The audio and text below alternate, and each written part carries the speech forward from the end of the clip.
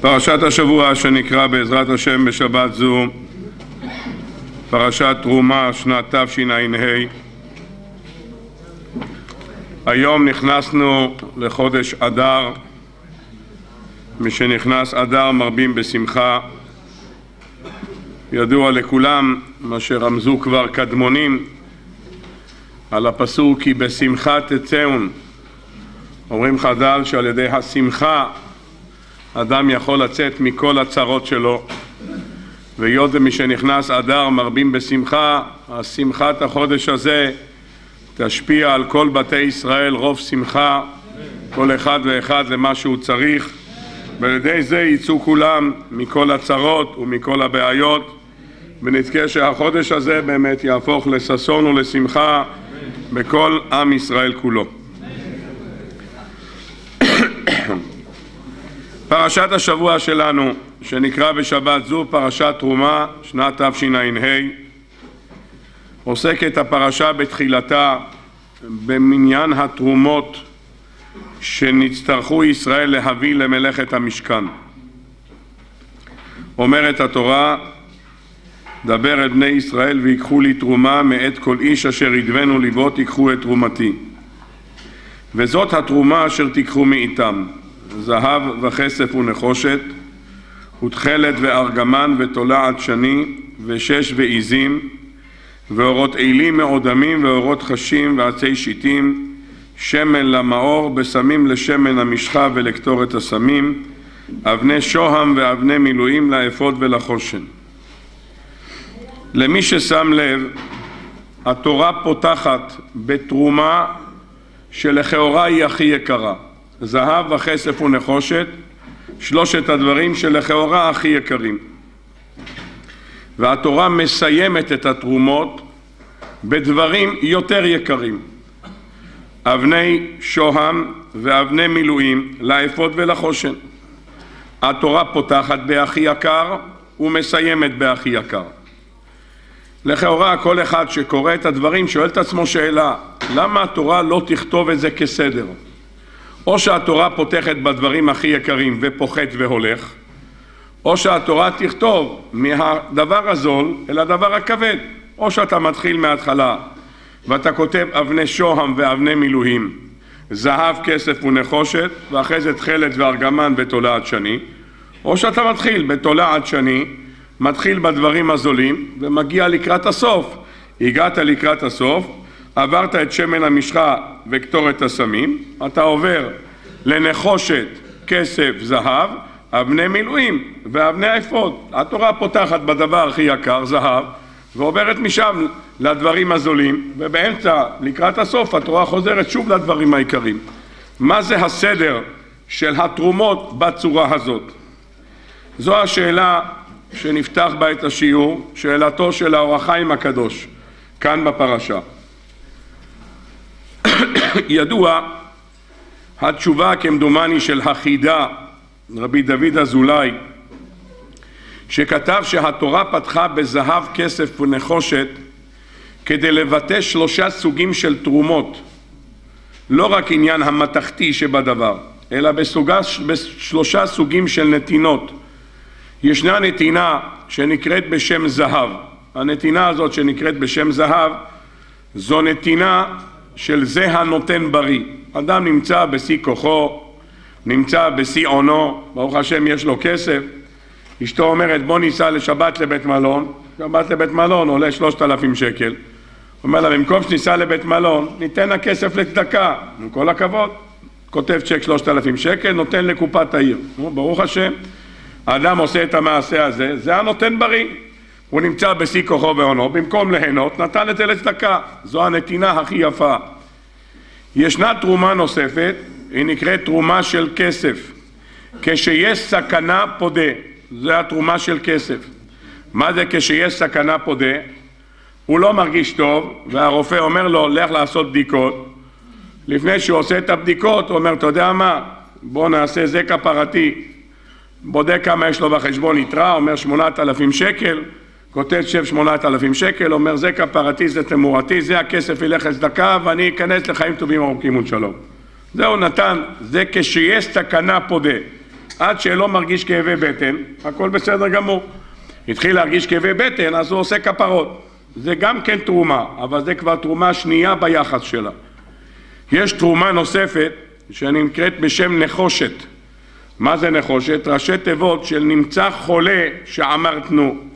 הוא כבר חזר מה-CT, מה-MRI, מקבל את הפענוח של התשובות, כתוב לו שם גידול בגודל כזה וכזה, שלח גורות ימינה, שמאלה וקדימה, ואחורה גודלים מפה ולפה, הוא בא עם זה לרופא, אומר מה זה אומר? הוא אומר, הרופא אומר לו זה אומר שאתה צריך לקנות חלקה, זה מה שזה אומר. אומר זה... ככה אומר כן, מה אתה רוצה? זה, זה מה שכתוב פה. נו מה הוא עושה? אומר עכשיו מה? חכה שהבנים שלי ירוב על הירושה? ישר ניגש לבנק, אומר כמה יש בפצ"ם, כמה יש בחצ"ם, עושה חשבון ביחד חצי מיליון שקל, מוציא חמש צ'קים, אחד לכולל חזון איש, אחד לכולל נחלס מוישה, אחד לדירשו והשני לקופת העיר, מחלק את הצ'קים, הבנים קמים מהישיבה, רואים יתרה אפס, זירו, האבא חילק הכל צדקה. נו, זה גם כן יפה מאוד, אבל זה כבר נתינה שנקראת נחושת. נמצא חולה שאמרתנו. אומר החידה, הכתוב פתח בסוגי התרומות לא רק בגלל סוגי המתכות, הוא פתח בתרומות האלה במסגרת שלושה סוגים של נתינות. יש נתינה של זהב, זה הנותן בריא, יש נתינה של נחושת, כסף, ויש נתינה של נחושת. אבל האור החיים הקדוש מסביר למה התורה חילקה את זה ולא פתחה באבני המילואים לאפות ולחושן, אלא פתחה דווקא בזהב. אומר אור החיים הקדוש, במדרש רבה, במדבר הבא, פרשה י"ב, אות ט"ז, מובא ברש"י בפרשת ויקל, אמר רבי נתן, מה ראו נשיאים להתנדב בחנוכת המשכן תחילה, בחנוכת המזבח תחילה, ובמלאכת המשכן לא התנדבו בחילה. שואל המדרש, למה הנשיאים הביאו את הקורבנות ראשונים ביום חנוכת המזבח הקריב נחשון בן עמינדב למטה יהודה ובחנוכת המשכן הם לא נתנו תחילה אלא אמרו הנשיאים יתנדבו הציבור מה שהם מתנדבים ומה שמחסרים אנו משלמים הציבור ייתן מה שהוא רוצה אם יחסר אנחנו נשלים את זה. כיוון שהשלימו ציבור את הכל שנאמר והמלאכה הייתה דים והותר אמרו הנשיאים מה עלינו לעשות אומר המדרש, הביאו את אבני השוהם ואת אבני המילואים. בסוף הם הביאו את אבני השוהם ואבני המילואים. לכך התנדבו בחנוכת המזבח תחילה, לפי שנתנצלו מתחילה נחסרה אות משמם, והנשיאים חסר כתיב. אומר אור החיים הקדוש, אם ככה נוכל להבין היטב, בעצם התורה הייתה צריכה לפתוח באבני המילואים לאפות ולחושן. למה? כי זה הדבר הכי יקר. אבל היות והקדוש ברוך הוא הקפיד על הנשיאים, הם הרי הביאו בסוף את אבני השוהם ואבני המילואים, והם הביאו את התרומה הזאת אחרונה. למה? כי הנשיאים הרי קיבלו את האבנים האלה בסוף התרומות של מלאכת המשכן. היות והתרומות האלה היו בסוף, לכן זה נכתב אחרון לכל התרומות. תשובה ראשונה של האור החיים הקדוש. תשובה שנייה, אומר האור החיים הקדוש, גמרא במסכת יומא בדף ע"ה, אומרת הגמרא שהנשיאים הביאו, אומרים חז"ל, הנשיאים זה מלשון של עננים, כמו שכתוב בפסוק, נשיאים ורוח וגשם עין. הנשיאים הכוונה העננים, אומרים חז"ל, שהעננים היו מביאים את אבני השוהם ואבני המילואים משולחן גבוה ישירות אל הנשיאים. בסך הכל 12 אבנים, כל נשיא קיבל את האבן המיועדת שלו ליד פתח הבית. אומר אור החיים הקדוש, והיות וקיבלו את האבנים משמיים משולחן גבוה, זה לא שצריכים לסחוב את זה ממצרים, להעמיס את זה על 90 חמורים לובים ולקשור את זה, לא, קיבלו את זה UPS עד הדלת, אם קיבלו את זה עד הדלת, בלי עמל, בלי יגיעה. אומר האור החיים, ודבר שנעשה ללא טורח וללא יגיעה וללא חיסרון כיס, לכן נכתב הדבר הזה בסוף. אף על פי שהוא הביא כסף רב, אבנים מאוד יקרות, אבל היות והדבר הזה נעשה בלי טורח ובלי יגיעה, אז זה נכתב בסוף התרומות.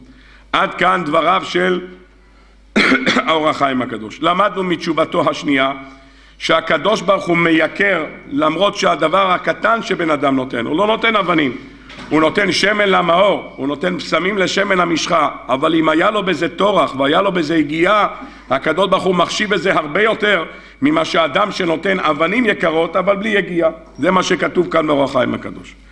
בא הכלי יקר ומביא תשובה נפלאה למה הקדוש ברוך הוא פתח בזהב כסף ונחושת ומסיים באבני שוהם ואבני מילואים. אומר הכלי יקר יסוד נפלא אם התורה הייתה כותבת לפי הסדר של הנתינה או סדר החשיבות בצורה עולה או יורדת והתורה הייתה מתחילה מאבני שוהם, אבני מילואים, זהב, כסף או נחושת או שהתורה הייתה מתחילה מהדברים הפשוטים ומגיעה לסוף והתורה הייתה אומרת נחושת, כסף, זהב, אבני שוהם ואבני מילואים היית רואה שיש חשיבות יותר גדולה לדברים היותר יקרים. או שאתה פותח איתם או שאתה סוגר איתם. אז אתה אומר שזו התרומה הכי חשובה. יוצא שאדם שהביא זהב מייקרים אותו, הביא תרומה חשובה. אחד שהבניע ושוהם ואבני מילואים מייקרים אותו. אמר הקדוש ברוך הוא אין לי הבדל בין אדם שמביא שמן למאור או פסמים לשמן המשחה או תכלת או ארגמן או זהב או אבני מילואים. כמו שפתחתי בזהב ובאמצע הכנסתי לך תכלת וארגמן סיימתי באבני מילואים. לומר לך שאחד המרבה ואחד הממית והכל שווים לפניי. כל אחד בתרומה שלו, כל אחד ביכולות שלו וכל אחד ברצון שלו.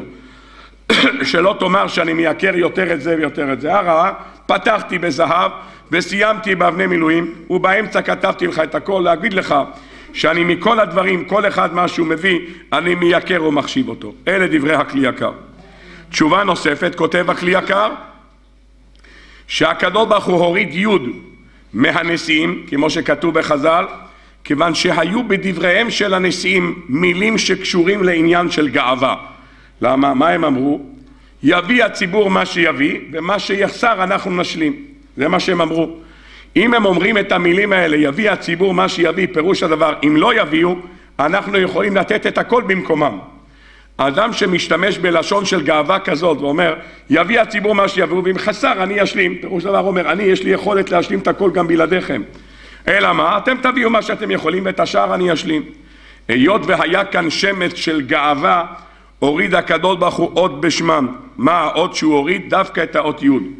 אומר הכלי יקר, משום שהאות י' היא האות היחידה בשם נשיא שנמצאת בשמות הוויה של הקדוש ברוך הוא. האות י', והיות והקדוש ברוך הוא לא חפץ בבעלי גאווה, לכן הוא הוריד מהם את האות י' בדווקא. ומצאנו שהאות י', א' כל בגלל שהיא הקטנה ביותר, מסמלת ענווה, מצאנו את זה גם אצל יהושע, שמשה רבינו הוסיף לשם הושע יהושע אומר שם התרגום במקום כתחמי משה ענוותנותא ויהושע לכן הוא הוסיף לו יוד. יוצא שהמיעות יוד היא המסמלת את העניין של הענווה והיות ומצאנו שהיה חסר לנשיאים היה חסר ענווה לכן הוריד להם את האות יוד. אלה הדברים שכותב הכלי יקר. לאחר ההקדמה הזאת אנחנו בעזרת השם רוצים להיכנס לקצת יותר לעומק הפרשה. רש"י על הפסוק מאת כל איש אשר תדבנו ליבו תיקחו את תרומתי. כותב רש"י אני אקרא את הדברים שלו בפנים. אמרו רבותינו שלוש תרומות אמורות כאן. אחת תרומות בקע לגולגולת שמהם נעשו האדנים כמי שמפורש באלה פקודי. ואחת תרומת המזבח בקע לגולגולת לקופות לקנות מהם קורבנות ציבור. ואחת תרומת המשכן נדבה לכל אחד ואחד. י"ג דברים האמורים בעניין כולם הוצרכו למלאכת המשכן או לבגדי כהונה לשתדקדק בהם. לשון של רש"י מאוד מאוד מעניינת. רש"י כותב שהתרומות של מלאכת המשכן שמנויות כאן בפרשה הם 13 תרומות שנצרכו למלאכת המשכן או לבגדי כהונה לשתדקדק בהם. מה רש"י רוצה מהמילים לשתדקדק בהם? רש"י בא לומר לנו דבר אחד אם תמנה את התרומות, תספור אותם, תראה שיש יותר מאשר 13. תספור אותם, תמצא 15 תרומות. או אם תרצה לספור, יש כאלה שמוצאים גם 16 תרומות.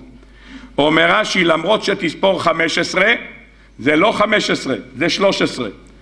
כי מה שנצרך למלאכת המשכן ולבגדי כהונה זה בדיוק 13, זה מה שרש"י אומר. מה רש"י בא להבקיע? מה רש"י בא לומר? על זה חלקו שלושה מפרשי רש"י.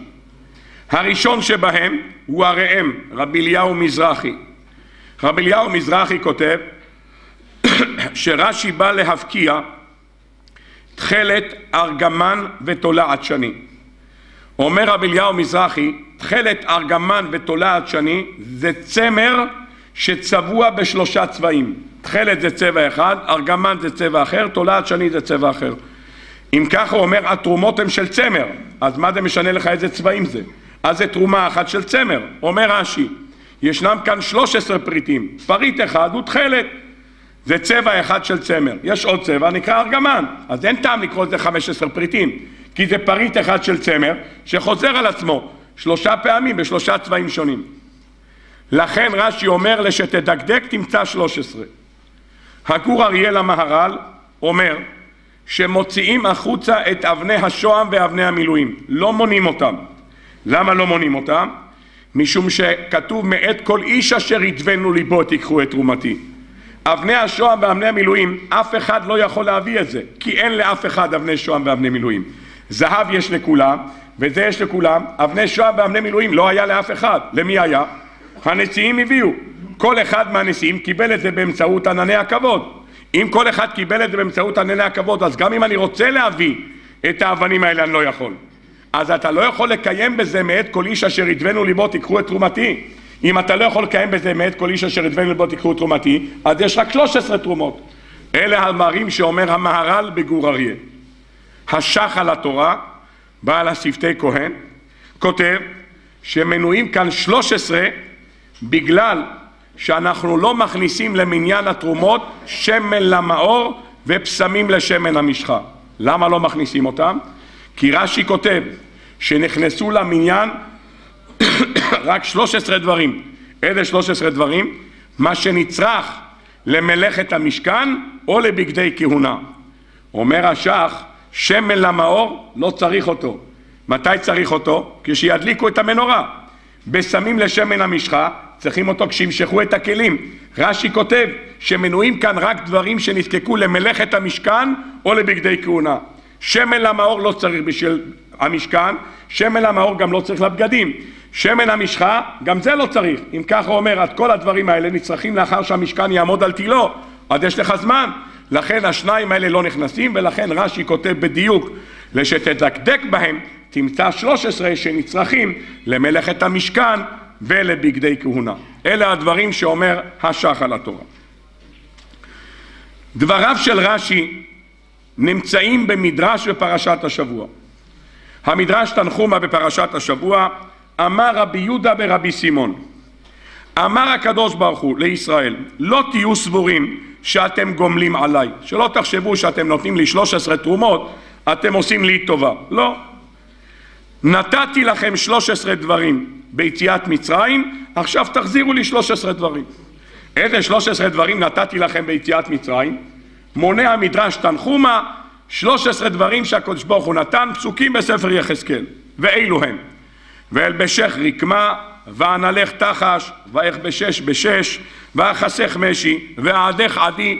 רשימה שלמה של 13 דברים שנתן לנו הקדוש ברוך הוא אומר הקדוש ברוך הוא נתתי לכם 13 דברים עכשיו תסדירו לי 13 דברים אם ככה גם המדרש שם דגש שהתרומות למלאכת המשכן הם 13 פריטים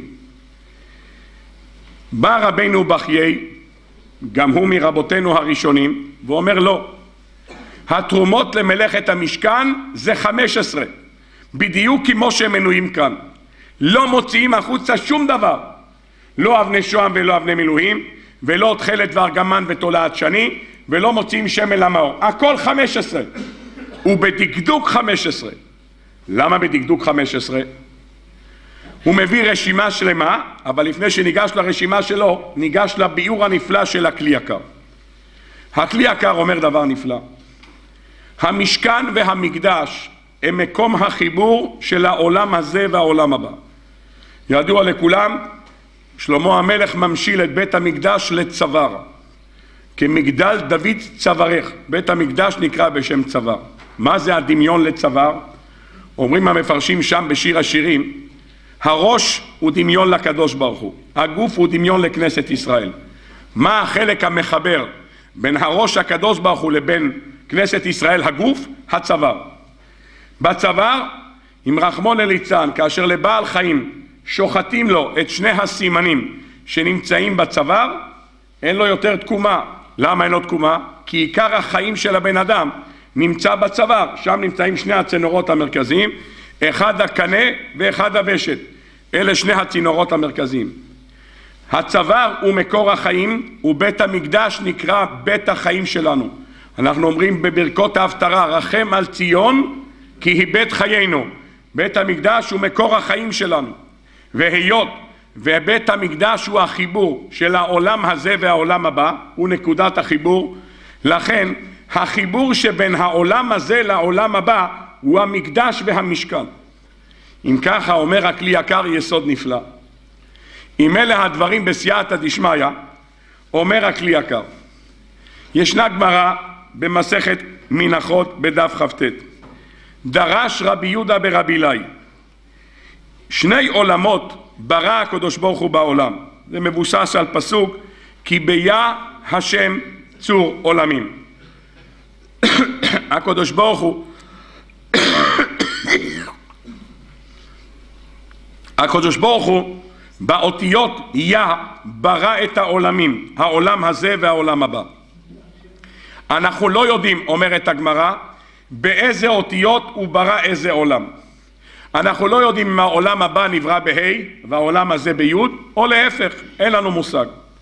אומר רבי יהודה ברבי אלי, אם כתוב, אם כתוב בפסוק אלה תולדות השמיים והארץ בהיברם, אם כתוב בהיברם, סימן שהעולם הזה נברא באות ה' שנאמר בהיברם, בה' ברעם. אומרת הגמרא, אם העולם הזה נברא באות ה', פירוש הדבר שהעולם הבא נבראה באות י'. זאת אומרת ששני העולמות יש להם חיבור של שני אותיות. איזה אותיות?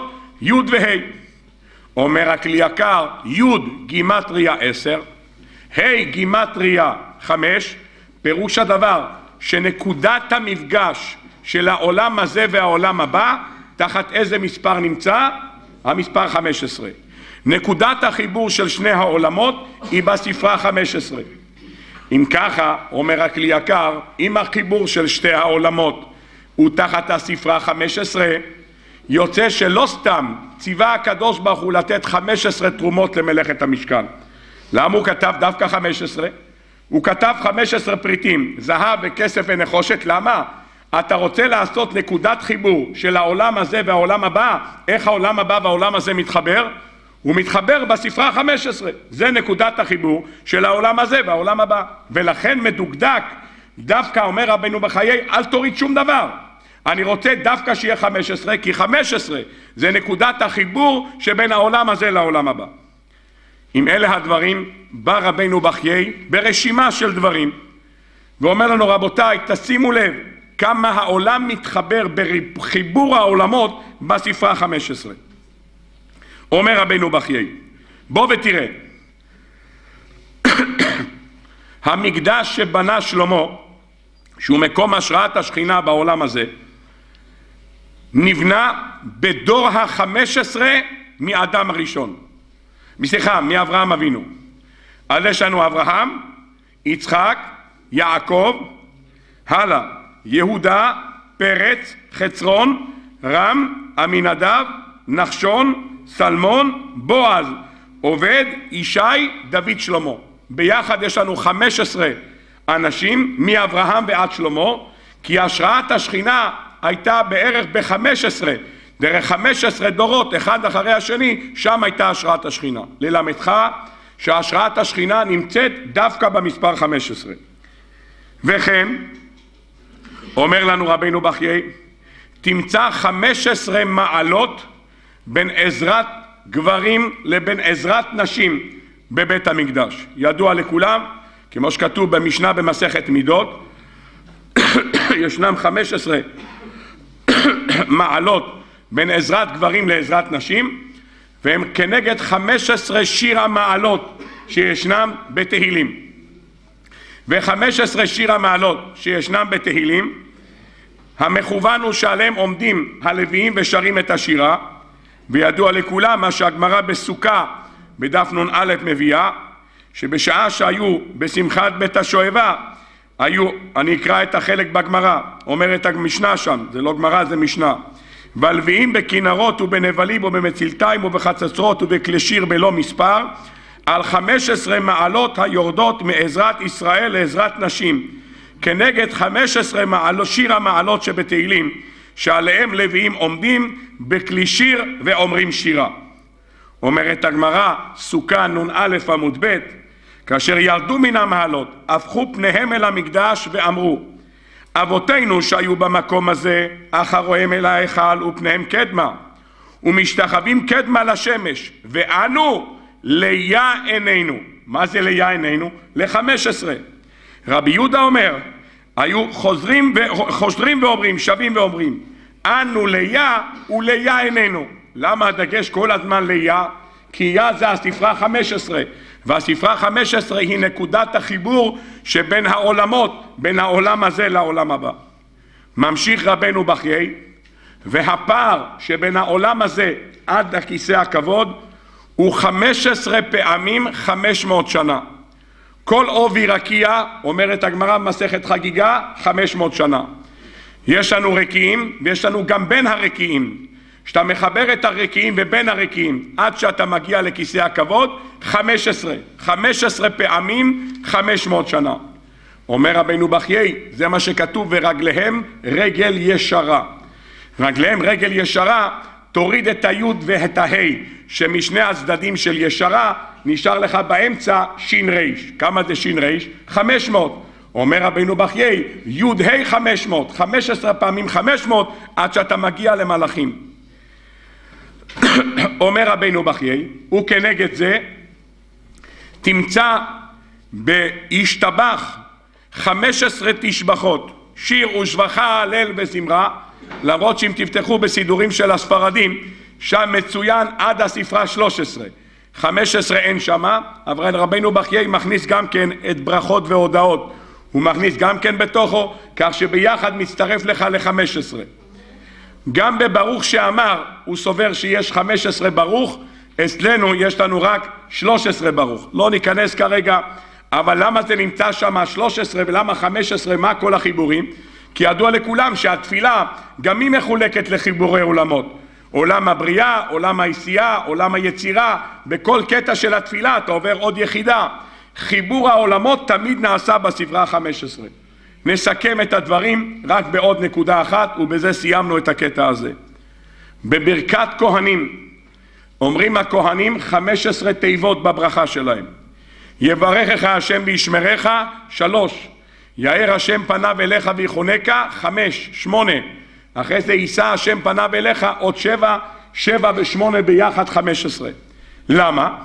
כי בשעה שהכהנים נושאים את כפיהם, יש שכינה שורה מבין האצבעות שלהם. כך מביא המדרש, מציץ מן החרקים. הקדוש ברוך הוא נמצא, ולכן אומרת הגמרא במסכת חגיגה, שאסור להסתכל על ידיהם של הכהנים בשעה שהם נושאים את כפיהם, שמי שמסתכל על הידיים שלהם יש לו סכנה של עיוורון, כך אומרת הגמרא, עיניו כהות.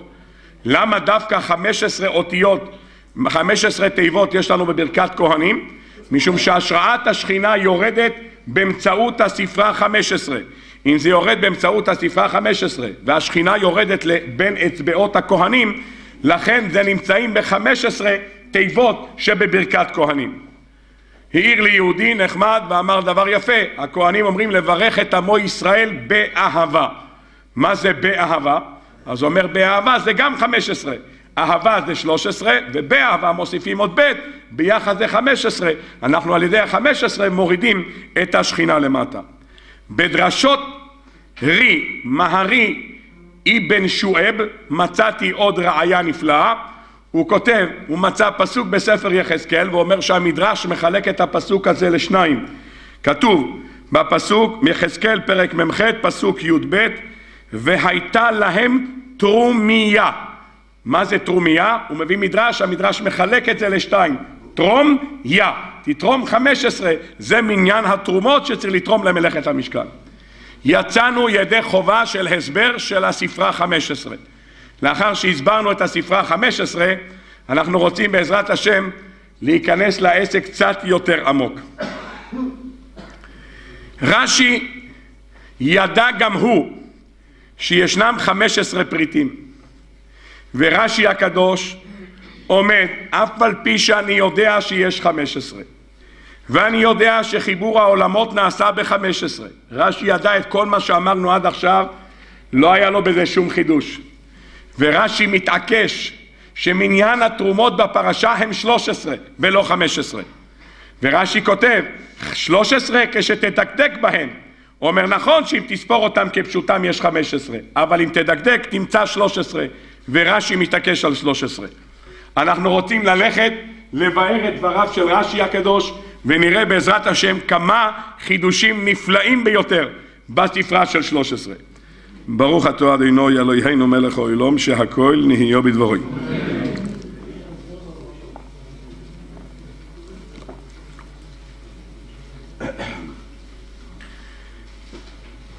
בדברי רבנו בחיי בחומש ויקרא כותב רבנו בחיי כך דע כי כל מיני הקורבנות הם י"ג סך הקורבנות שישנם, הסוגים של הקורבנות, יש 13 קורבנות.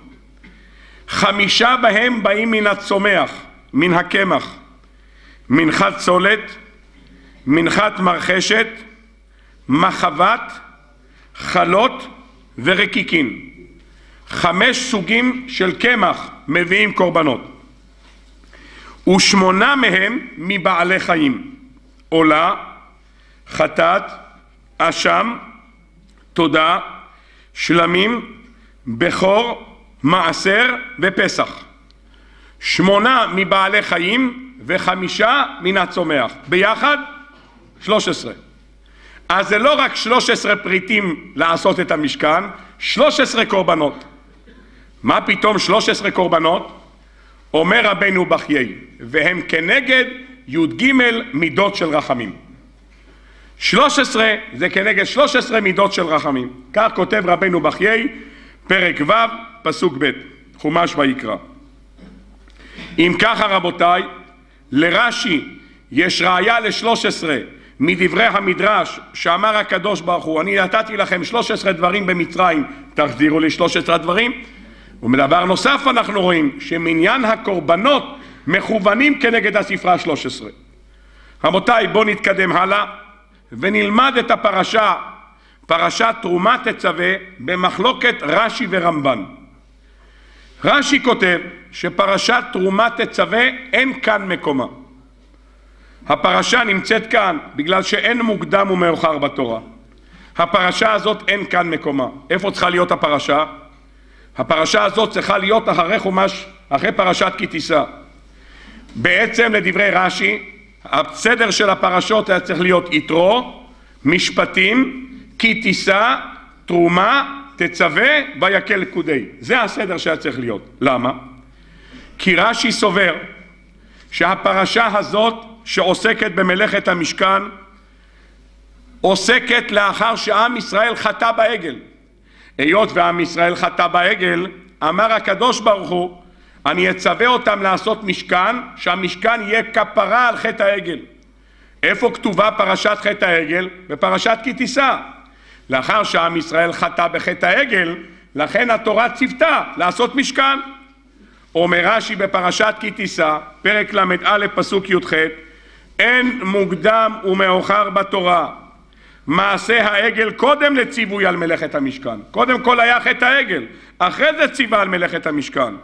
שהרי בשבעה עשר בתמוז נשתברו הלוחות וביום הכיפורים נתרצה הקדוש ברוך הוא לישראל ולמחרת התחילו בנדבת המשכן אז מתי זה היה? קודם כל היה חטא העגל אחרי חטא העגל נצטוו על מלאכת המשכן כך אומר רש"י מקורו של רש"י הוא בתנחומה בפרשת השבוע אומר התנחומה בפרשת השבוע באות ח' ועשו לי מקדש ושכנתי בתוכם. מתי נאמר למשה הפרשה הזאת? אומר המדרש תנחומה ביום הכיפורים עצמו אף על פי שפרשת המשכן קודמת למעשה העגל היא כתובה בפרשת תרומת תצווה אומר המדרש אמר רבי יהודה ברבי שלום אין מוקדם ומאוחר בתורה באמת פרשת תרומת תצווה אין כאן מקומה היא צריכה להיות אחרי פרשת כי תישא אלא מה? אין מוקדם ומאוחר בתורה. אלה הדברים שאומר המדרש תנחומה, ורש"י מביא את הדברים. הרמב"ן אומר שהפרשיות נאמרו כסדרן, כך אומר הרמב"ן בפרק ל"ה פסוק א', משה נסתווה לבנות את המשכן כבר בארבעים יום הראשונים שהיה משה רבינו בהר, עוד לפני שהוא שבר את הלוחות. אמר לו הקדוש ברוך הוא דבר על בני ישראל ויקחו לי תרומה מאת כל איש אשר ידבנו ליבו תיקחו את תרומתי מתי זה נאמר לו? בארבעים הימים הראשונים שמשה רבינו היה בהר כבר נאמר לו הדבר הזה ממילא הפרשה כסדרה משה רבינו אמר שמע נעשה ונשמע עלה למרום להוריד את הלוחות ושמע מפי הקדוש ברוך הוא שעתיד לבנות את המשכן בלי קשר לחטא העגל בכלל דבריו של הרמב"ן מבוססים על דברי תנת ואליהו. אומר התנת ואליהו רבה, פרק י"ז. אומר, כיוון שאמרו ישראל נעשה ונשמע, אמר הקדוש ברוך הוא ויקרו לי תרומה.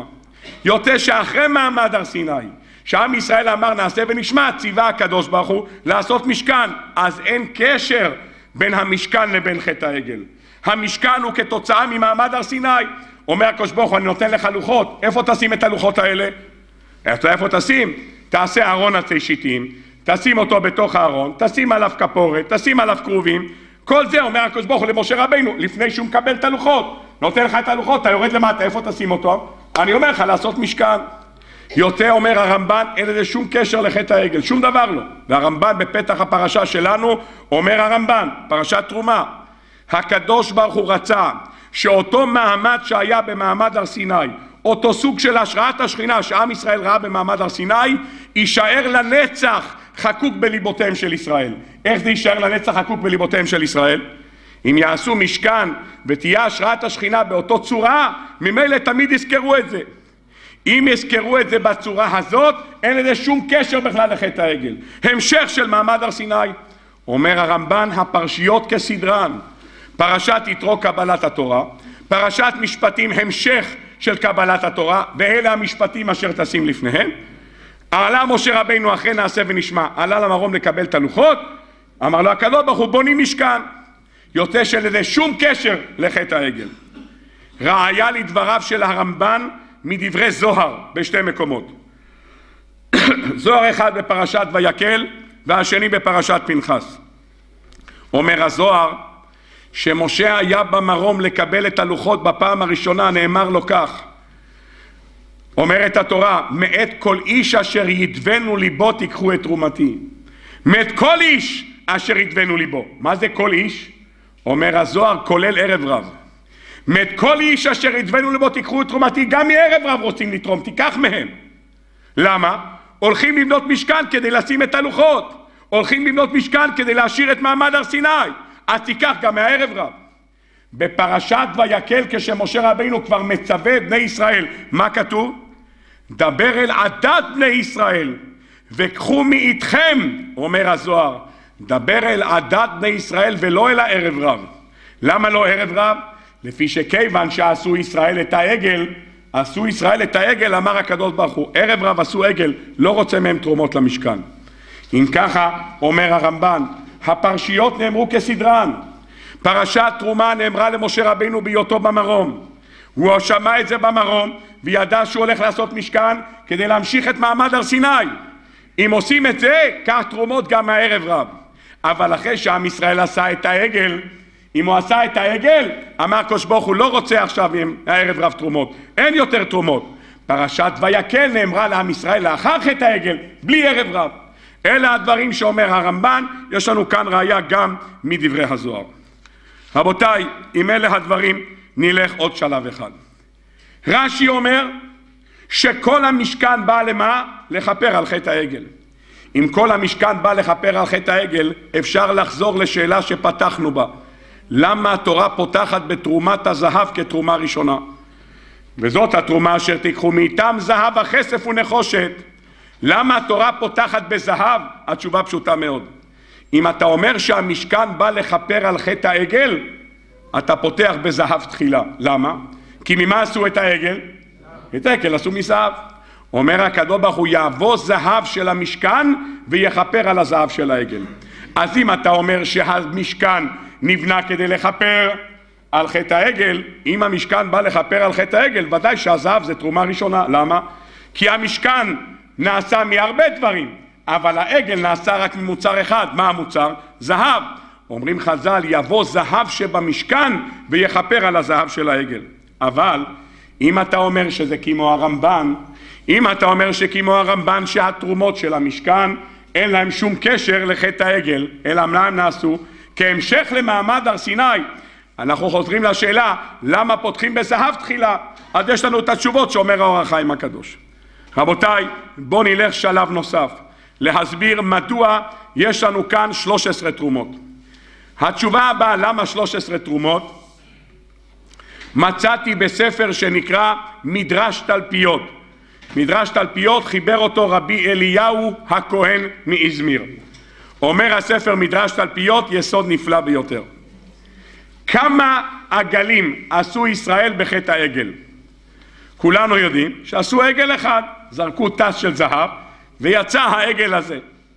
אומר רבי שמעון בר יוחאי, ירושלמי, מסכת סנהדרין, פרק י' הלכה ב', שוחר טוב בתהילים מזמור ג', אמר רבי שמעון בר יוחאי, שלוש עשרה עגלים עשו ישראל במדבר. אחד לכל שבט ושבט ואחד מרכזי.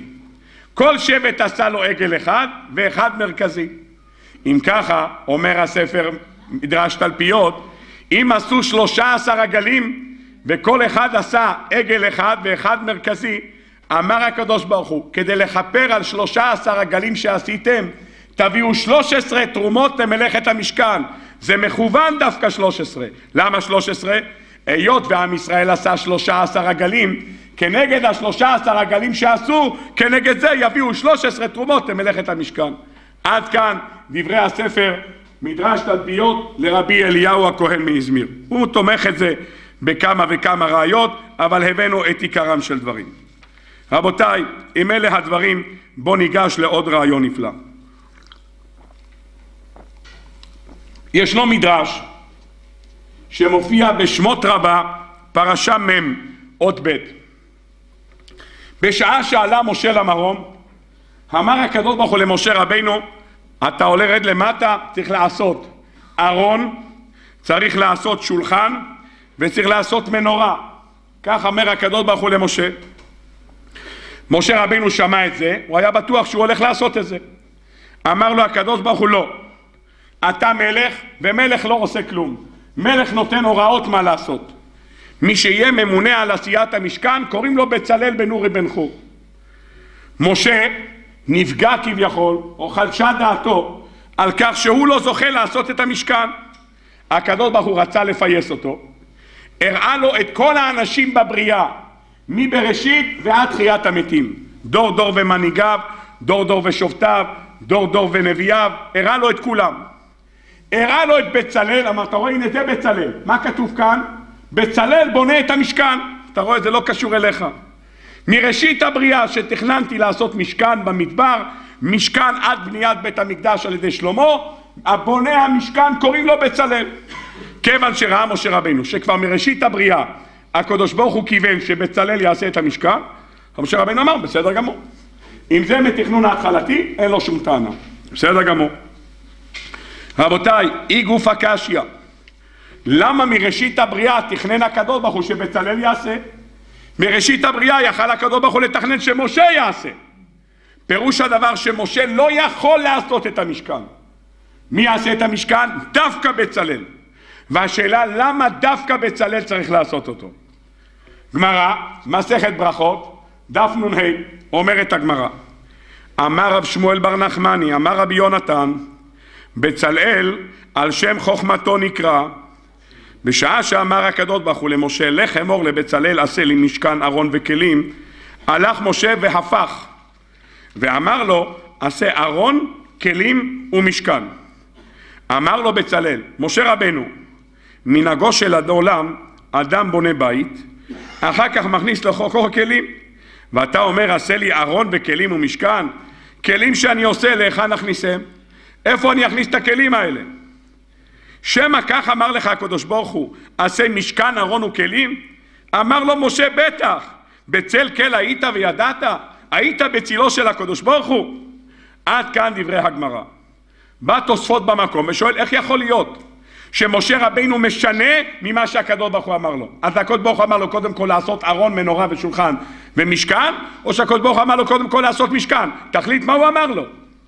אומר תוספות במקום, בפרשת השבוע, פרשת תרומה, כתוב קודם כל, מה כתוב קודם כל? כתוב קודם כל ועשית ארון, ואחרי זה עשית שולחן, ואחרי זה עשית מנורה. אז הסדר שכתוב הוא בסדר הזה.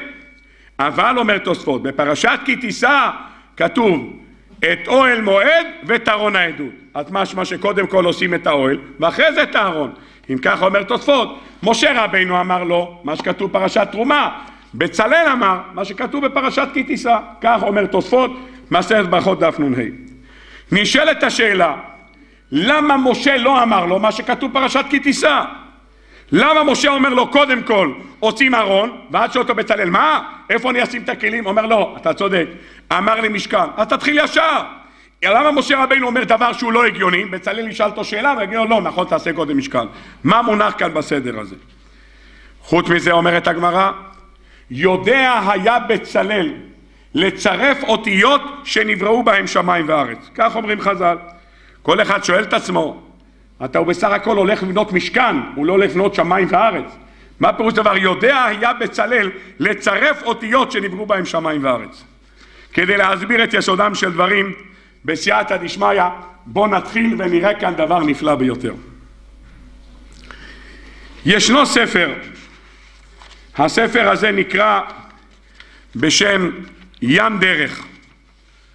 בספר ים דרך מאמרי עולם במאמר פ"ה, מאמר שעוסק בענייני הקורבנות.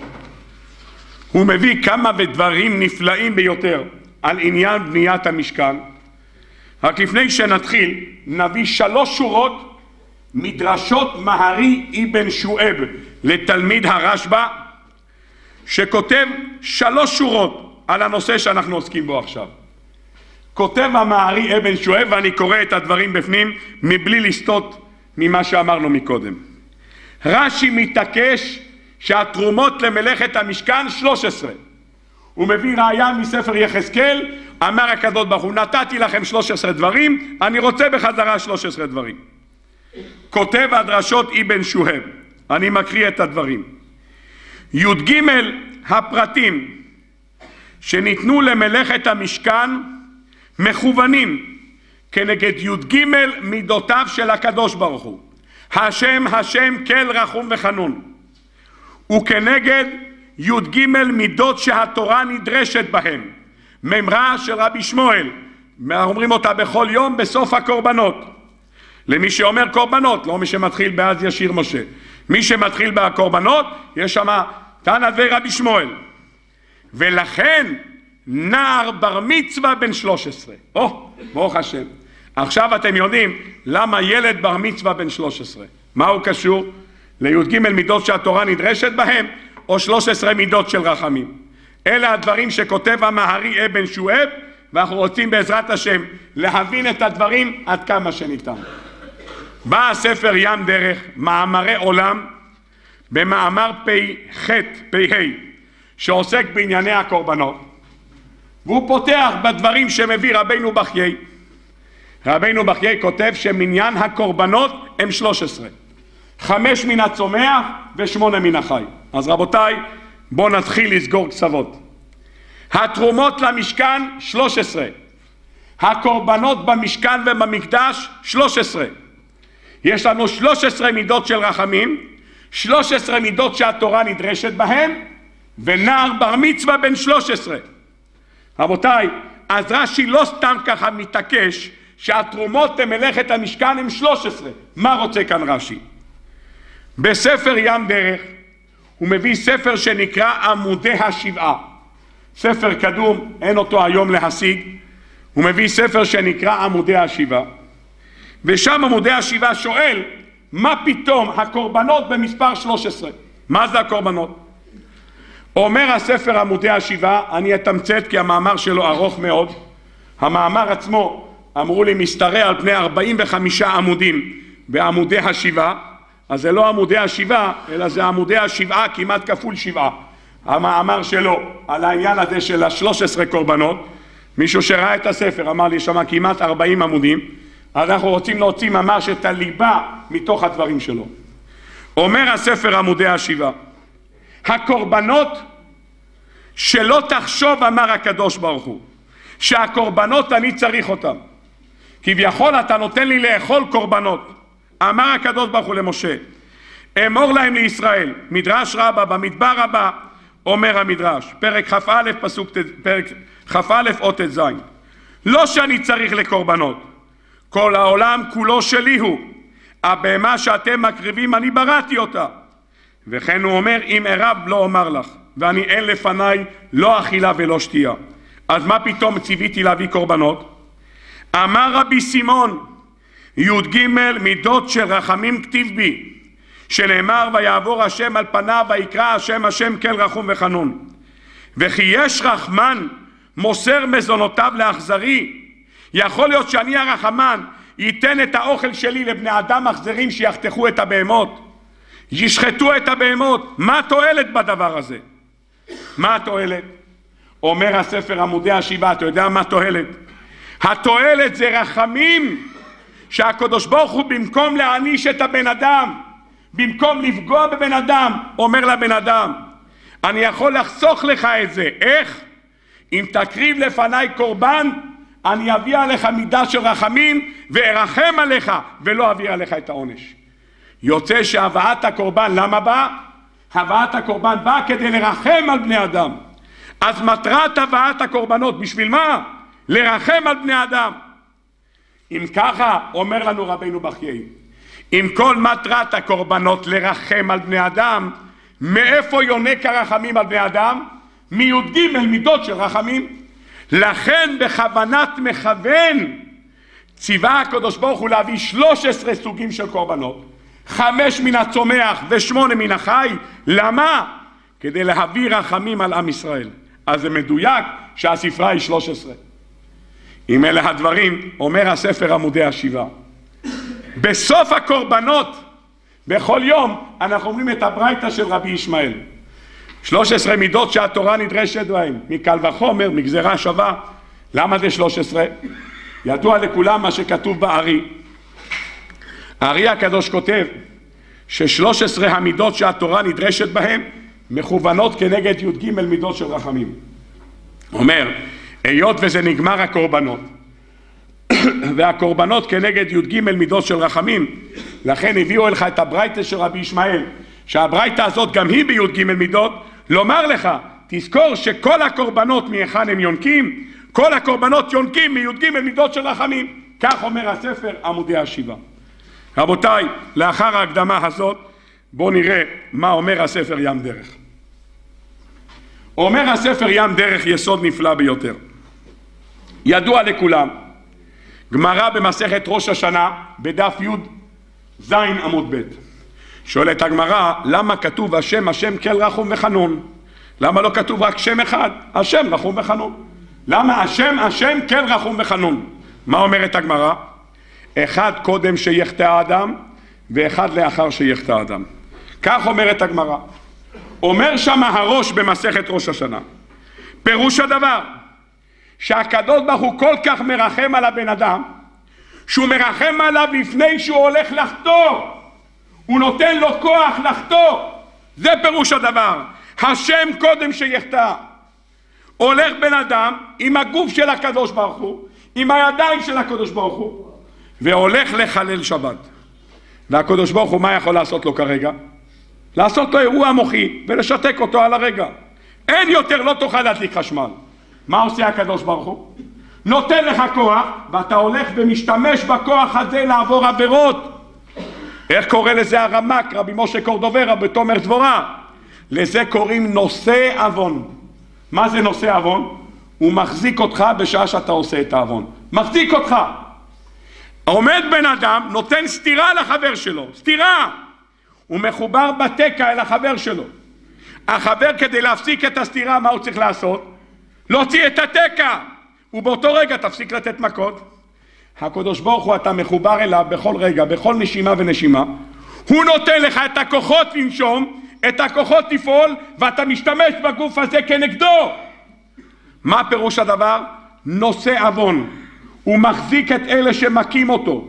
הוא מחזיק את אלה שעוברים על בריתו. זה נושא עוון. השם, קודם שיחטא האדם, כשבן אדם הולך לחתום, מקבל רחמים של הקדוש ברוך הוא, ומפרנס אותו הקדוש ברוך הוא, כדי שיוכל לעבור על החטא, ואחרי זה השם שאחרי החטא. רבותיי, אם אלה הדברים, שימו לב. הקדוש ברוך הוא רצה לברוא את העולם במידת הדין. בראשית ברא אלוקים את השמיים ואת הארץ. ראה הקדוש ברוך הוא שהעולם לא יעמוד במידת הדין, אז מה הוא עשה? צירף לזה את מידת הרחמים. נכון? שאמר בראשית ברא אלוקים, ואחרי זה בפרק ב' כתוב ביום עשות השם אלוקים ארץ ושמיים. ביום עשות השם אלוקים. קודם מידת הרחמים ואחרי זה מידת הדין. רבותיי, באיזה רגע הצטרפה מידת הרחמים למידת הדין? מה היה הרגע? הקדוש ברוך הוא רצה לברוא את העולם במידת הדין, הוא ראה שהעולם לא יעמוד במידת הדין, צירף אליו מידת הרחמים. באיזה רגע הצטרף מידת הרחמים? אה? מתי זה מיד? ביום ראשון בבוקר? אה? יום ראשון תן את השעה. יום ראשון, שמונה בבוקר, תן, תן את השעה.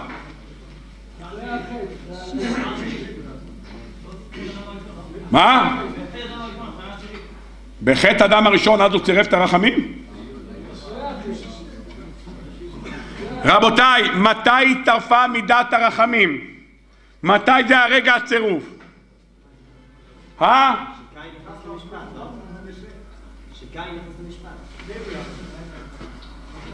בוא נקרא גמרא, מסכת ראש השונה. השם השם כן רחום וחנון, שואלת הגמרא, למה כתוב השם השם? אחד השם קודם שיחטא האדם ואחד אחרי שיחטא האדם. אז מתי צירף את השם הראשון? לפני שיחטא האדם. מתי חטא האדם? באיזה שעה?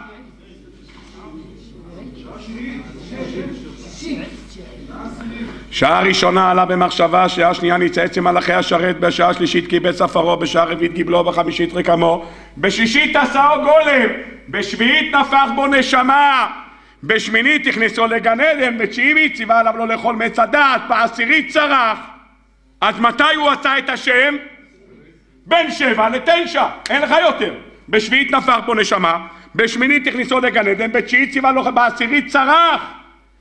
והשם הראשון הוא קודם שיחטא האדם. אז אם השם הוא קודם שיחטא האדם, אז בין איזה שעה לאיזה שעה? בין שבע לעשר. בשעתיים האלה צירף הקדוש ברוך הוא את מידת הרחמים למידת הדין. יוצא שהשם ברא את האדם במידת הרחמים, אז הצטרפה מידת הרחמים למידת הדין. למה? משום שאם האדם היה חוטא כאשר הוא נברא רק במידת הדין, מה היה קורה לו?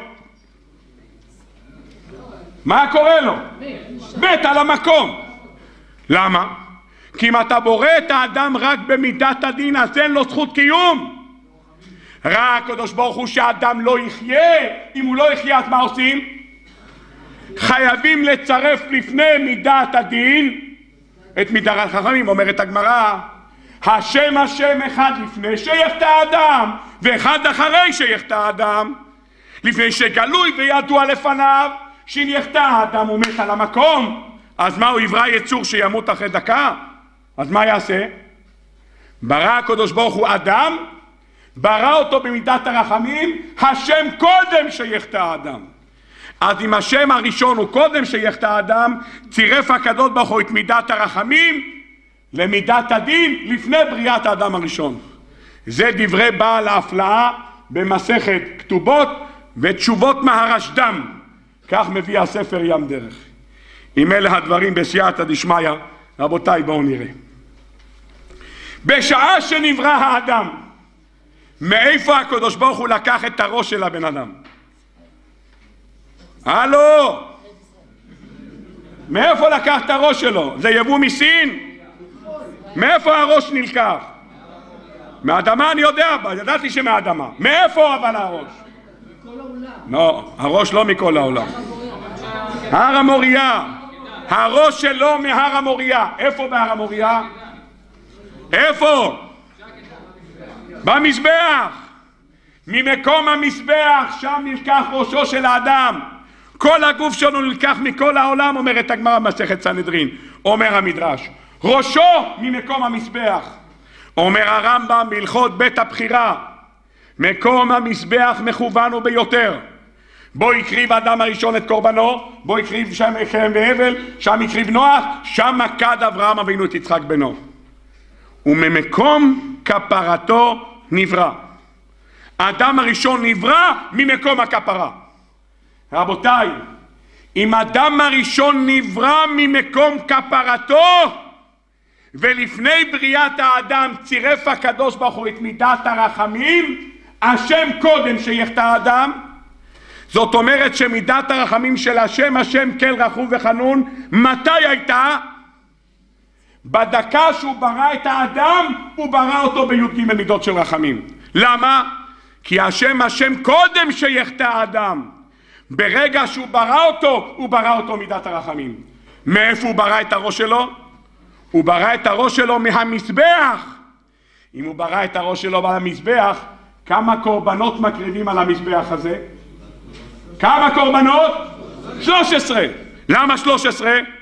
כי שלוש עשרה מידות רחמים לקורבנות ושלוש עשרה מידות רחמים כדי לברוא את האדם קודם שיחטא האדם בי"ג מידות בי"ג מידות נברא האדם ובי"ג מידות ממקום המזבח שנברא האדם בי"ג קורבנות שמקריבים עליו כנגד י"ג מידות.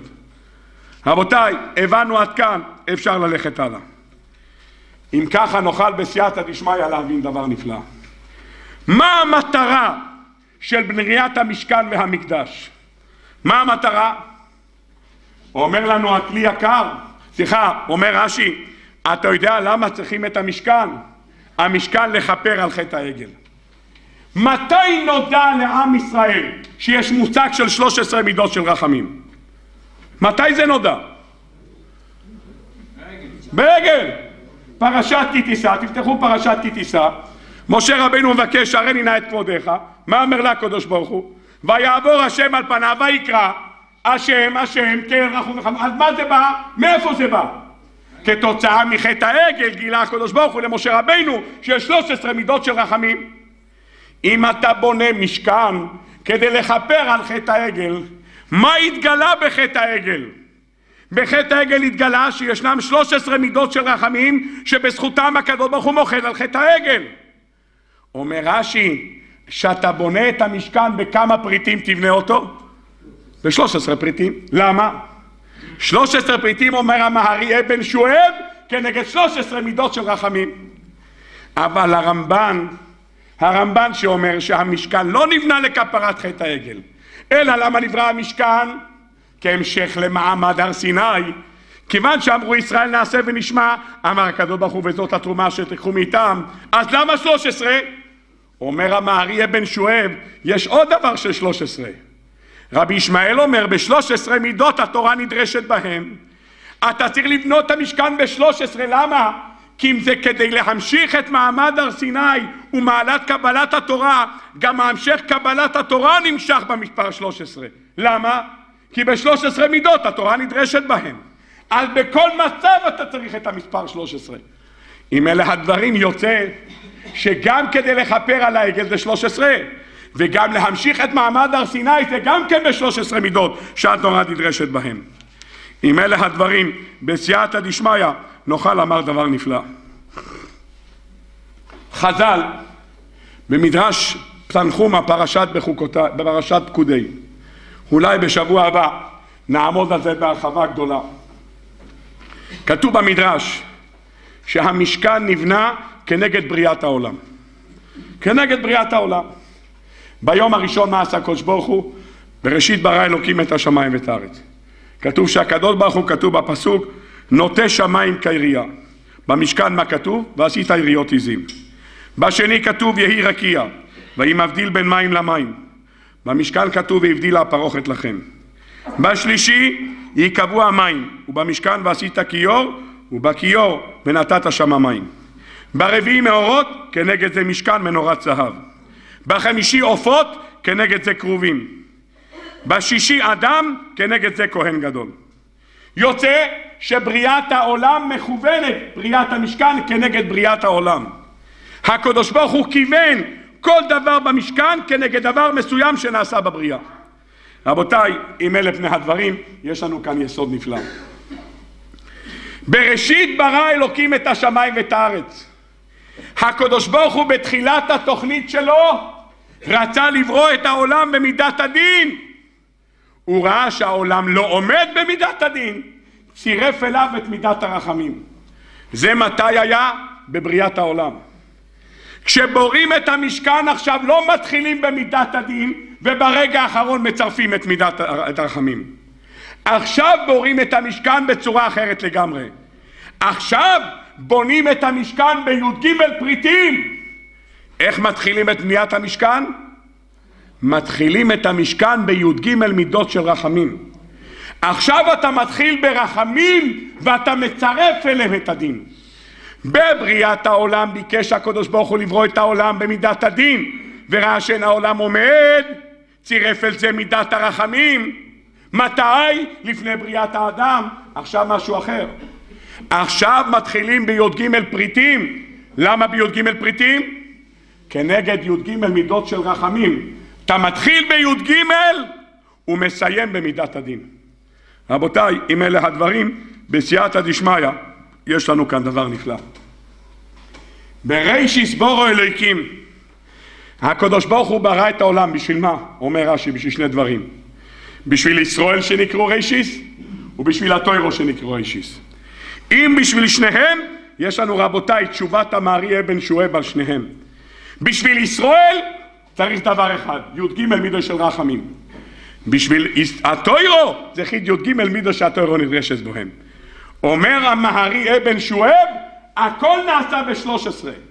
או בשלוש עשרה כנגד י"ג מידות של רחמים שמכוונים כנגד ישראל או כנגד י"ג מידות שהטוירו נדרשת בהם כדי שהטוירו תתקיים. אם ככה רבותיי בסייעתא דשמיא יש לנו כאן פשט נפלא אם בריאת המשכן הוא חזרה לבריאת העולם מחודשת עכשיו הקדוש ברוך הוא לא בורא את העולם במידת הדין ומצרף אליה רחמים. עכשיו מתחילים בי"ג מידות של רחמים ועוברים למידת הדין. אומר הקדוש ברוך הוא למשה, אתה לא יכול לעשות את המשכן. למה אתה לא יכול לעשות את המשכן? כי משה רבינו לאיזה מידה הוא שייך? לדין. אהרון שייך למידת הרחמים. משה רבינו מייצג דין, אומר הספר חיי לבב. כך כתוב גם במדרש, בגמרא במסכת סנהדרין. אמר משה, ייקוב הדין את ההר. משה מסמל את מידת הדין. אומר הקדוש ברוך הוא, אתה לא בונה משכן, אתה נותן הוראות. את המשכן עכשיו בונים קודם כל במידת הרחמים. את מי לוקחים? לוקחים את בצלאל בן אורי בן חור. בן כמה היה בצלאל? בן שלוש עשרה. אומר הקדוש ברוך הוא למשה, אתה לא יכול. למה אתה לא יכול? כי כל בניית המשכן היא צריכה להיבנות במידת הרחמים. אתה שייך למידת הדין. היות וכל המשכן הזה נברא בשלוש עשרה, אומר לנו אמרי אבן שואב, או בגלל שלוש עשרה מידות של רחמים, או שלוש עשרה מידות שהתורה נדרשת בהם, ובר מצווה גם היא בן שלוש עשרה. מה הוא רוצה להגיד? חידוש בר מצווה בן שלוש עשרה. גם בצלאל אומרת הגמרא, בסנהדרין סט עמוד ב', בן כמה היה בצלאל שבנה את המשכן? בן 13 שנה? 13 תרומות, 13 קורבנות, הבונה של שלו בן 13 שנה. למה?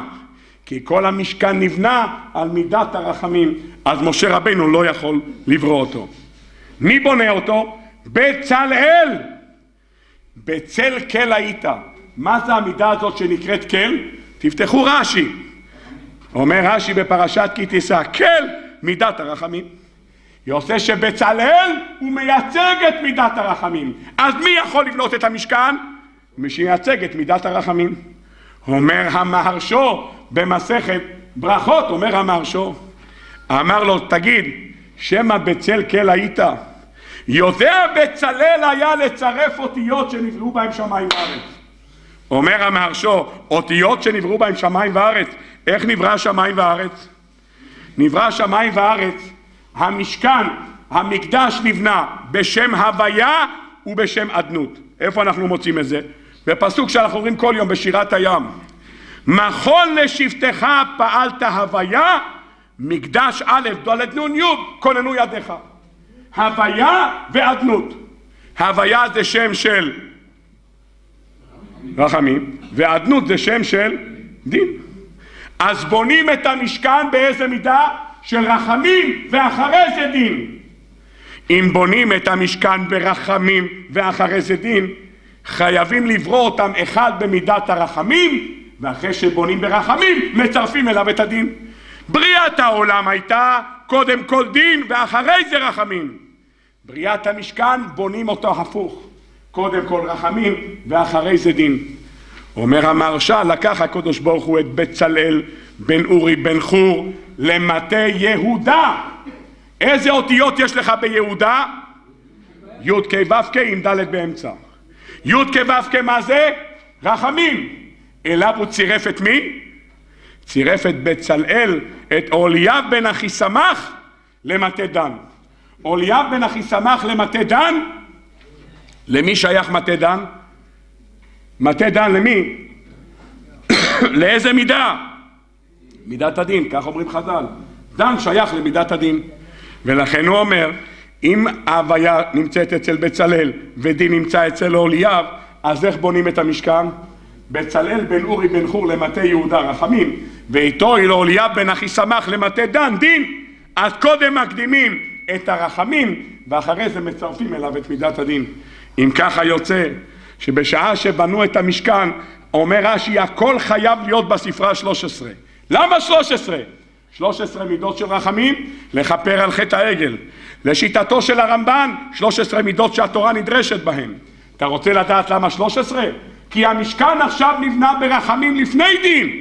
אם הוא נברא ברחמים לפני דין, רק בצלאל שהיה בן 13, שהשם שלו אל, שהוא מידת הרחמים, הוא זה שיכול לברוא את המשכן. אם ככה נוכל לסיים בדבריו של המדרש תלפיות, רבי ליכאון מאזמיר, שאומר אחשורוש הלך ועשה משתה משנכנס אדר מביעים בשמחה. בטח כולם כבר גמרו ללמוד את המגילה. אומרת המגילה אמר אחשורוש אני עושה משתה. ממה יהיה בנוי המשתה? הוא לקח 13 פריטים לעשות את הכלים והעיצובים שלו. חור, כרפס, תכלת, תחות, בחבלי בוס וארגמן על רצפת, בהד ושש ודר וסוחרת. 13 פריטים! שואל הספר מדרש תלפיות בשביל מה הוא צריך 13 פריטים?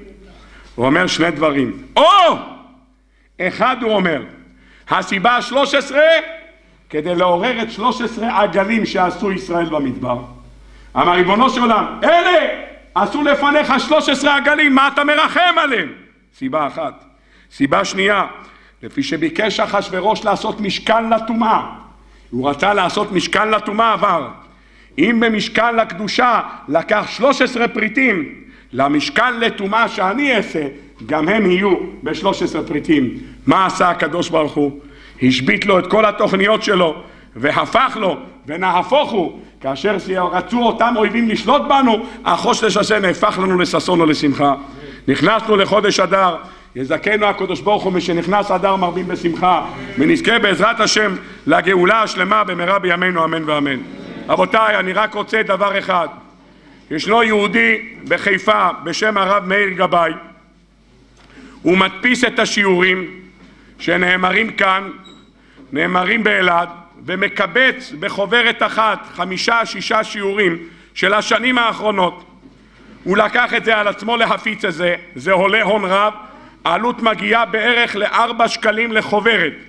אז ישנם אנשים שתורמים, ורוצים להפיץ את זה לאור, וברוך השם, מי שרוצה שיהיה לו זכייה בדבר הזה, יכול לפנות אליו, או נמצא כאן הרב חניה דוד מארגון הידברות, נמצא כאן, גם דרכו אפשר להעביר, בטלפון 050 יוכל ליטול חלק בהוצאת החוברות האלה.